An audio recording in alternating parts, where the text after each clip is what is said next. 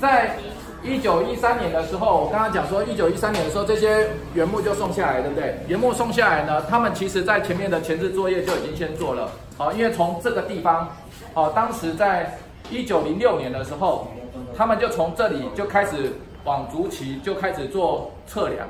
测量完之后就开始铺设铁轨。所以那整个从一九零六到一九一二年，好，整整花了六年的时间，他们在做这样的一个事情。但是呢，我刚刚讲说那个藤田组，他们不是一个非常呃规模比那个三菱企业这么大的一个财团，所以呢，他们当时在估算的时候，他们有先到什么？一九零六年他们去做这件事情的时候，他们要先评估一下，呃，到底会不会赚钱？好，因为他们他们做这条铁路就是就是等于是一个哦，他们具有。可以去开采阿里山块木的一个权利嘛，哈，这个这个公司，所以呢，他们在一九零六年的时候，他们去去阿里山山区去做了啊块木的调查，然后调查完之后再评估这条铁路开到阿里山，然后呢，整个块木送下来之后，他们会不会赚钱？他们按照这样的评估，因为呢，当时啊，台湾总督府有没有？他是没有钱的哦，这条铁路是。盖这条铁路几乎是动摇国本的哈，他们是没有钱的。当时又是日俄战争，所以他们是没有钱的。所以在没有钱的状况之下，这条铁路在开凿的时候，在铺设的时候是用 BOT 的。哦，是当时在一百年前就有 BOT，也就是说企业做，好，然后呢？呃，官方是不出钱的，然后企业呢是给有有这些权利呢，他可以去开采这些块木。但是呢，当时他们在做做到一半的时候，这是非常辛苦的、非常艰困的一个工程，所以做到一一九零八年的时候，其实就已经做不下去了，哦，就已经做不下去，所以呢，齐田组就放弃了，放弃呢，然后就由呃台湾总督府就接手。然后接手之后呢，他就评估说，我现在铺设的这个地方呢，那当时还没有铺到二万平呢，哈，他们铺的时候已经快完啊，就还没有完工，哈，已经过了过了过了奋起湖了。他们他们就在评估说，这整个齐天组就说，哈，那我我要跟你解约，那解约的话，这些东西还是算我我我公司的财产嘛，对不对？你现在是 BOT，但是还是我公司的财产。那你如果呃你你台湾总督府你要拿回去的话，你要跟我哦买要买回去。所以那个提田组他们就估价说哈，当时他们这边花了哈，花了两百五十万，他们说你要跟我买两百五十万，然后后来呢，台湾总督就总督府就说好，那太贵了，实在是他们也买不起，哦，他们说那不然一百八十万，在这个但是。呃，他们的这些预算必须要送到哪里？送到议会里面，所以他们要送回呃这个呃日本哈，他们的那个帝国的议会，帝国议会呢就觉得一百八十万也太离谱了哈，就又再给他砍砍到变成一百五十万，然后呢，最后这齐田组就只有拿到一百五十万就就解约了。那解约之后呢，那整个后面还没有完工啊，后面完工呢，一直到了一直到了一九一零年的时候啊，因为你要完工，必须要继续要付钱嘛。就是你很多的预算要编列，然后这些预算呢，也是台台湾总督呢送到日本的帝国议会里面，经过了两届好几次，好都一直被驳回驳回驳回。后来呢，终于在一九一零年的时候，然后通过通过之后呢，继续去做这样的一个官营。然后呢，这个快木下来的时候，这里好，当时就先前置的准备，包括了当时在铺设的呃这个铁铁路的一些工人也好，技术人员也好。这些宿舍他已经先做准备了，然后呢，制裁的工厂，包括我们刚刚讲的发电的设施，还有大型的机具，还有天车。当时在这里的天车是东亚最大的天车，聚聚材的那个呃，就是呃木材的工厂也是整个东亚最大的木材工厂，在这个地方。所以是，也就是说，在当时以整个东亚来讲的话，最先进的制材产业在这里，在一百年前最。最先进的，然后而且最现代化的都是在这里。好，所以呢，当时在一九一三年的时候，我刚刚在车上讲说，一九一三年，好，这个地方因为要发展这个制材产业，制材产业全部都是易燃品，所以呢，严禁烟火。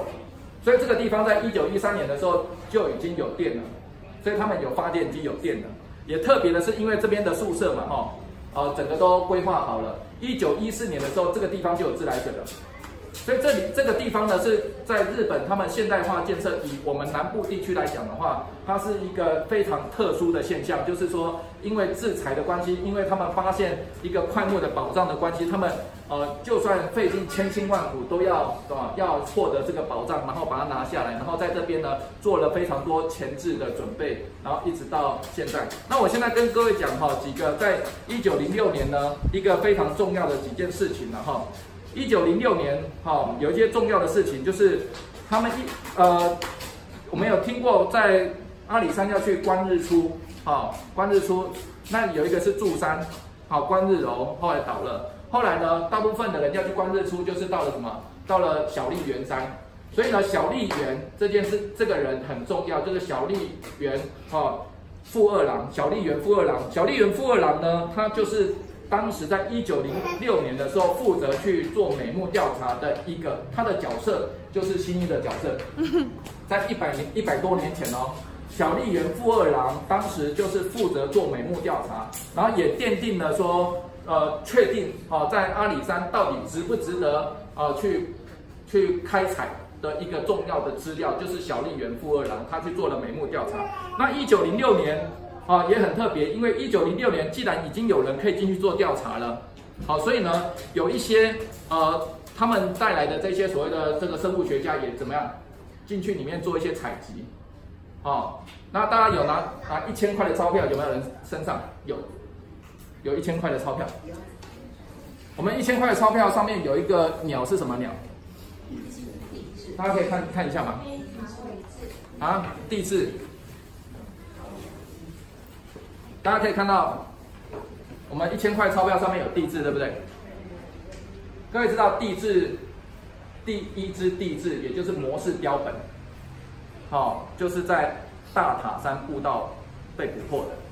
就是我们明天要去的大塔山步道，在在在那个地方被捕获。好，那地质为什么叫做地质？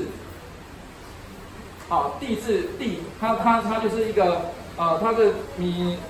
呃，它它的地质的这个地呢，是帝王的意思嘛，哈，它里面的这些呃，就是它的种名里面帝王的意思呢，它其实就是这个是捕获的这个人是呃菊池米太郎哈，他在他捕获的这这这个鸟非常漂亮的一只鸟，好，然后呢后来是一个当时在是一个新的种哦，当时这被鉴定是一个新的鸟类哦，所以呢，他当时就是用来纪念日本天皇叫地质。好，它用来纪念哈，他感恩这个天皇哈，所以呢，在一九零七年的时候，在英国被鸟类学家这个发表哈，也就一九零六年也进去了，进去了，包括地质的发，就是就是采集，然后捕获的这个标本。一九零六年，我们知道撞到月亮的树有听过吗？台湾山，全世界最高的树台湾山，好，也在阿里山山区哈，有小溪哈成章呢。在那个地方采集到台湾山，好，所以呢，台湾山的发现也在阿里山哈。那一九零六年哈，一九零六年也是在这个地方开始开始进行铁路的啊测量，也是在一九零六年。所以呢，一九零六年呃，其实是一个整个奠定整个阿里山要开发的整个重要的时间点，就是一九零六年。好，好，那就是然后我我我们刚今天早上在。在那个呃，在赤水呃北天宫那边有提到，一九零六年之前，我们还发生了几件事情，跟阿里山有关系的。一九零六年之前，就是一一八九五年的时候，甲午战争，台湾不是给日本了吗？所以呢，有两件事情跟阿里山有关系的，就是一八九六年长野义虎，他从玉里要去探勘，哦，台湾的最高峰，对不对？长野义虎嘛，哈。然后呢？后来他因为没有留下太多的资，就是没有证证据说他有攀登玉山，但是他说他爬到很高的山而已。好，后来呢，齐田英作跟本多进六，好，我们刚刚讲说齐田英作就上去了。然后呢，他还把日本国旗埋在山顶上。结果呢，啊，结果被一个德国的探险家在一，在一八九七年的时候，德国探险家然后上去。这个玉山东峰的时候，发现玉山东峰山顶上面有日本的国旗，所以呢，他就写下记录说哈，齐藤英作怎么样爬错了，好，所以第一个哈，第一个爬上了这个呃玉山主峰的其实是德国的一个探险家哈，史史塔托尔哈。那他呢，哦，也因为呢玉山的主峰的探勘这件事情，来来去去探勘的事情呢，让他们在图过程当中看到了快木林。啊，他们在这个玉山的这个探勘的过程当中呢，看到快木林，然后他们就看到了这样的一个快木林之后，再从一九零七年到啊，不，一八九七年到一九零六年这段时间，陆陆续续啊，然后透过啊周族的啊，陆陆续续去探勘，然后真正做到美目调查是在一九零六年的时候，这个小小笠原富二郎啊奠定了这些重要的资料，好，然后才开始。现在呢，等一下我们呃。